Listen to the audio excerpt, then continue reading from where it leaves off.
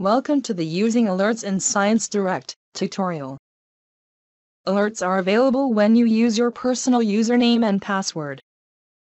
Journal and book series alerts notify you when an article or new issue or volume is published in the specified journal, book series, or handbook. Search alerts notify you of new articles on Science Direct which match your search request. To review or modify your stored alerts, select your name and then select Manage Alerts. Journal and book series alerts are listed here. Search alerts are available on the Search tab. Let's create some alerts. First, we'll create a journal and book series alert.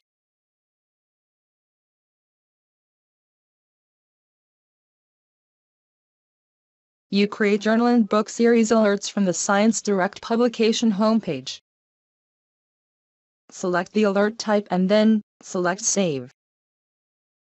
To change the email address associated with your alerts, select View Account and make the change on your account details page. Let's take a look at managing journal and book series alerts. The new journal alert displays here. The details of the alert are available for reference or edit. Select the publication title or view link to go to the journal or book series homepage. Download a list of your journal and book series alerts in CSV format. Select Edit to change the frequency or content type for the alert. Then make your changes and save. To discontinue the alert, select Delete. Next, let's look at search alerts. To manage search alerts, select the appropriate tab. Your search alerts display here. You can create a search alert from your search results page. If you would like the search to run periodically and notify you of any new results, select Set Search Alert. Enter the properties of your search alert and select Save.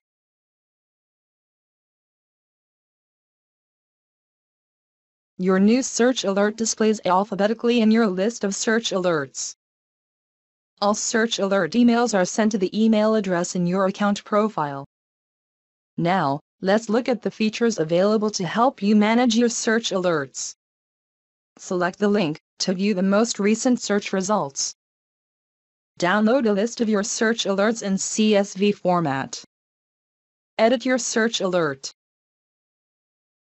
Now, edit your search alert properties and select Save.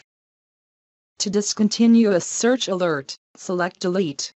This concludes the Using Alerts tutorial.